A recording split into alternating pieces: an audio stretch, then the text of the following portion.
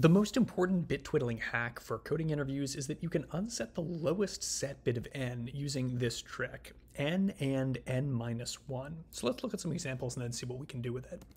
So suppose we've got 4-bit numbers, and let's look at these examples. So if n equals 9, we've got the 4-bit number 1001, and when we, when we AND that with 1001 minus 1, we get 1001 and 1000, which produces 1000, which is actually the original number with the lowest 1 bit set to 0.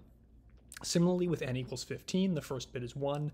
When we AND it with uh, itself minus 1, what we end up getting is 1110. So again, the lowest 1 bit has been set to 0. When we try something where the lowest 1 bit is several positions forward, it still works, right? So for something like 1100, we end it with 1100 minus 1, and we get 1000, which again unsets the highest set, or lowest, excuse me, set bit. And when n equals 0, it does nothing because there are no set bits. So what can we do with this? Well, one thing we can do is we can check if n is a power of 2 in O1 time. So instead of, for example, iterating over the bits of n and checking if exactly one of them is set, we can just say check if n is greater than 0, which means at least one bit must be set, and then check if n and n minus 1 is equal to 0, which means at most one bit is set. We can also check if n is a power of 4 by adding a mask to this to check which of the bits is set. And we can also count set bits with this hack slightly faster than we could naively.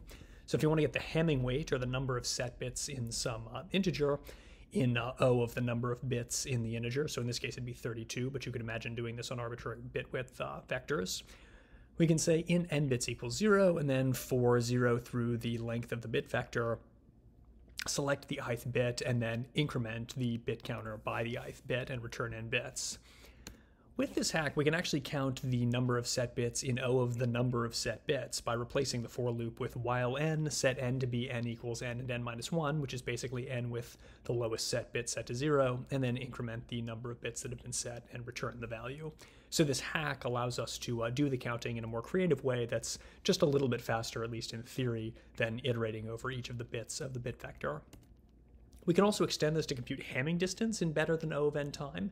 So instead of doing uh, the Hamming distance by taking the XOR of x and y, and then iterating over every bit of the XOR, checking its value, we can replace that loop with the loop we saw in the last slide, where we say while n, set n to be n with the lowest bit set from one, lowest set bit unset, and then increment the Hamming distance.